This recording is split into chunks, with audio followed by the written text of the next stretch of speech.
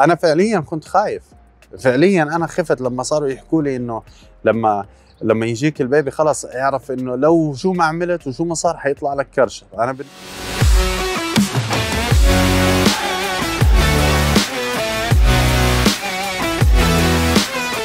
طيب أهلا وسهلا فيكم. في فيديو جديد وفي يوم جديد ويسعد صباحكم ومساءكم وين ما كنتوا وين ما تواجدتوا. اللي بدي أحكي فيه اليوم موضوع صار معي أنا شخصيا اللي هو موضوع لما الناس اللي حواليك كلها تكون بتحبط فيك وبتحكي لك أشياء ما لها داعي. يعني اللي صار معي إجاني baby جديد الحمد لله أول baby فكل الناس بتعرف إنه أنا عندي هوس بال fitness وبحب أتمرن كل يوم وبروح كل يوم على الجيم ويعني معروف أنا من عمر 14 سنة لهلأ وأنا بروح على الجيم وعندي انتظام وعندي انضباط وما بضيع أي شيء مستعد أكنسل أي شيء مستعد أغير أي شيء عشان موعد الجيم. بالعكس أنا مبرمج حياتي حوالين تمريني. هاي شخصيتي وهذا أنا مش شرط إنه الكل يكون هيك. هلأ اللي اللي صار إنه وهي مرتي كانت حامل خلال الحمل كله كل الناس كانت تخوفني حتى الناس اللي عندها أولاد وخصوصا اللي عندهم أولاد آه أنت على فكرة من هلأ بلش انحف ومن هلأ بلش آه، خلي حالك fit عشان لما البنت تجيك إجتني بنوتة.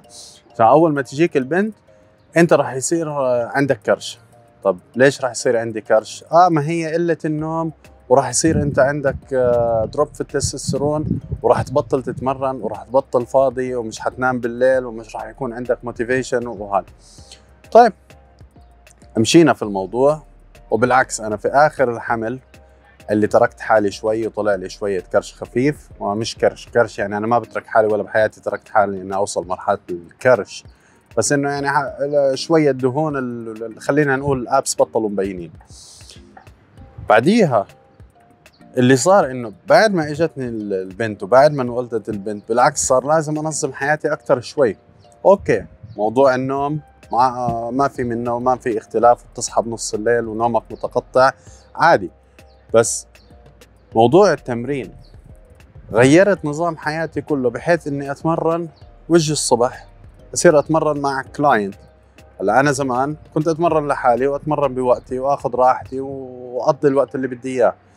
بس اللي صار إنه أنت بدك تبرمج حالك بدك تغير حالك لشغلة إنه تتمرن في وقت في طريقة معينة في وقت أقل بس لسه بتتمرن. وبالعكس أنا هلأ واصل level واصل مرحلة حورجيكم أحط لكم صورة هلأ. شوفوا هاي الصورة أنا ماخذها اليوم اليوم الصبح بعد التمرين. آه وصلت level أنا مش واصله لي زمان لأنه صار آه، بالعكس أنا حطيت حالي صار عندي انضباط أكثر للتمرين لأني هلأ ملتزم ملتزم مع client ومسيطر على كل شيء بصير عندك awareness بتصير أنت تعرف شو اللي بدك العوامل اللي تلعب فيها. منهم واحد منهم مثلا اللي هو الأكل. آه بقول لك حيصير عندك emotional eating لأنك مش عم بتنام. طيب أوكي صار عندك emotional eating مرة بالأسبوع يا سيدي. ما خربتش الدنيا. عندك باقي الأسبوع أنا دائما ماشي على قاعدة 80 20 قاعدة 80 20 80% من أسبوعك 80% من يومك. كل فيه كويس. 80% من يومك قضيه كويس.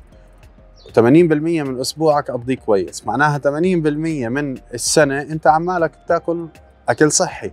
معناها جسمك 80% راح يكون شكله حلو. مش شرط تكون 100% مش شرط يكون عندك 7% بودي فات مش شرط إنك تكون يعني التوب اتليت أقوى واحد في الدنيا. بس أنت 80% من السنة هاي شكلك ممتاز. فأنت بتوصل من أول السنة لآخر السنة شكلك كويس. فما في عندك هذا اللي ما خربت كثير وما تركت التمرين وبالعكس الموضوع ماشي. فكل الناس اللي بتضلها حواليك هاي هذا الإشي المهم اللي بتركزوا عليه. إنه الناس اللي حواليك اللي بتضلها تحكي لك إنه إذا هذا راح آه، أنت راح تنصح وإذا أكلت كذا أنت راح تنصح وإذا ما عملتش كذا أنت راح تنصح وإذا هاي القصة صارت عندك خلص اعرف اقرأ الفاتحة على جسمك وجسمك راح فيها. يا معلم انت ضربت انضويت. ليه؟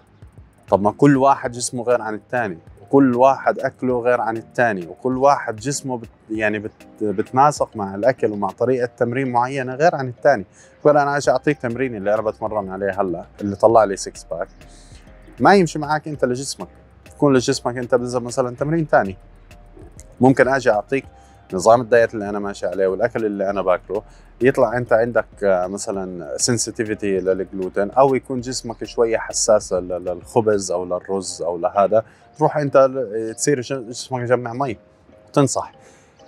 كل واحد جسمه مختلف عن الثاني بدك تعرف طريقة جسمك بدك تعرف بناء على نظام حياتك كيف تنظم حالك وكيف تنظم تمرينك وكيف تنظم الوقت اللي بدك تمشي فيه. أوكي في ناس بتسافر كثير بس لسه بتتمرن. وأحكي لكم أنا مش بس حالي الشاب اللي بتمرن معي اللي هو ال client اللي أنا بتمرن أنا وياه هذا رجال عنده ولدين متجوز عنده ولدين. عنده شركة ما شاء الله عنده أكثر من 450 موظف فيها. وداخل في أكثر من business مش business واحد. عنده ولا اثنين ولا ثلاثة ولا خمسة. زلمه يا رجل ناجح جدا جدا. وبيجي كل يوم على الخمسة ونص الصبح بتمرن إذا هذا الزلمة ملاقي وقت مع كل الأشياء هاي اللي عنده وكل الضغوطات اللي حواليه وعماله بتمرن وجسمه شكله حلو كمان. مش إنه يعني بس اللهم إنه بيجي أنا بتمرن وبعمل اللي علي وبروح. لا بتمرن, بالعكس وحش وبتمرن وتمرينه قوي وجامد. وبتمرن معي على تمريني. فأنت تيجي تحكي إنه هذا قدر ينظم حاله بكل هاي الأشياء وكل الضغوطات اللي عنده. يعني إذا حدا بده يكون عنده excuse في العالم إذا واحد بده يكون عنده سبب إنه ما يتمرن رح يجي هذا أول واحد applicable لهذا ال excuse بس لا بالعكس. منتظم منضبط وبيجي كل يوم. ما تخلي أي حدا حواليك وما تخلي واحد كسول يجي يعطوك معلومة. أنا فعليا كنت خايف. فعليا أنا خفت لما صاروا يحكوا لي إنه لما لما يجيك البيبي خلص اعرف إنه لو شو ما عملت وشو ما صار حيطلع لك كرش. أنا بالنسبة لي جسمي من الأشياء الأساسية هاي من الأشياء الأساسية اللي أنا ماشي فيها إنه جسمي لازم يضل صحي جسمي لازم يكون شكله حلو. هيك أنا لأني أنا مدرب. مدرب إذا جسمي شكله مش حلو يعني إذا أنا مدرب بكرش أكيد مش حعرف أجيب client أكيد ما حدش حيسمع لي. لأنه lead by example أنا بالنسبة لي. أنا راح أقود في إني أورجيك تشوف هذا الشكل. إذا أنت عجبك شكلي حتتمرن معي حتشتري برامجي حتحكي معي حتسألني أسئلة. أما إذا أنت شايف إنه أنا والله كرش وقاعد بنظر عليك وبقول لك أنت لازم تعمل لازم تعمل دايت وأنا قاعد بروح باكل أكل زبالة ما مش منطق. أنا بالنسبة لي هذا مش منطق بشوفه بشوف مدربين زي هيك ما بعرف كيف بجيبوا client ما بعرف كيف الناس ماشية معاهم.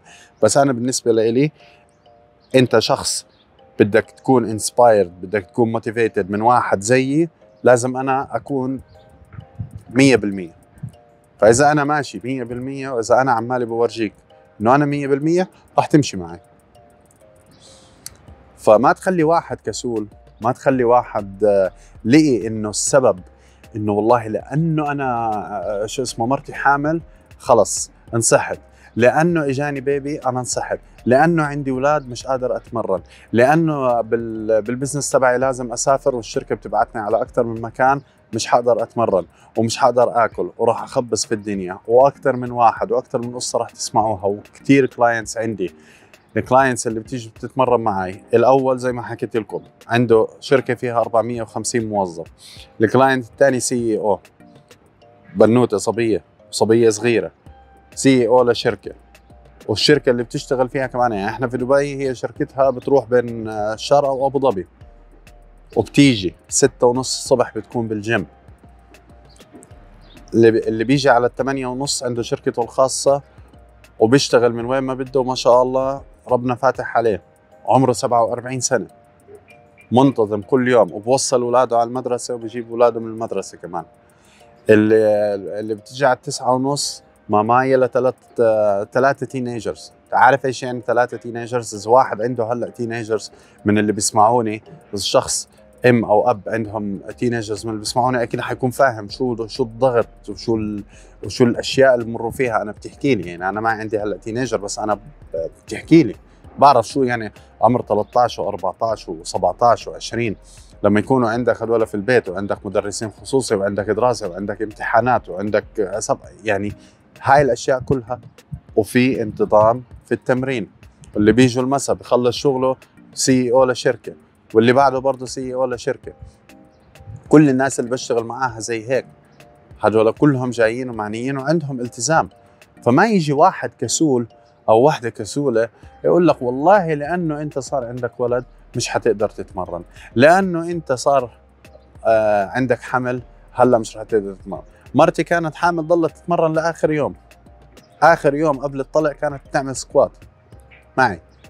كنا بنتمرن في الجيم خلصنا بالليل اجاها الطلع رحنا على المستشفى ولدت ما تخليش عندك أي عذر ما تخليش عندك أي شيء okay بعد الولادة في فترة لازم فيها راحة بعد النقاهة ترجع تتمرن.